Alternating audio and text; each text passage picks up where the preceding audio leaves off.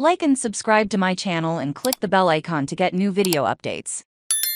Floyd about F1. Only at the beginning of the race is it boring the citizen. This weekend's F1 Grand Prix at the Imola circuit is the first of three races in three weeks, with the others taking place in Monaco and Barcelona. The media has been busy predicting the arrival of many improvements, particularly for the Mercedes Petronas team. I wrote about one team's dominance back in April, and apparently it is still a concern for many drivers. According to a recent website poll, a large percentage of fans now seem to agree that, that this makes the sport boring. But can we change that by introducing penalties for the winning team? Surely not. The fact that they are at the top is because they have a car that is competitive in terms of design and manufacturing standards, meets all requirements all forms of competition require commitment, planning, training, practice, and achieving the highest standards that lead to being at the top. So let us not continue with the thinly veiled call for handicap winners, but rather encourage greater achievement and that is a factor that has been well demonstrated so far this season. The teams from Brackley and Maranello are not content with this, and are pushing with all their might to change the situation.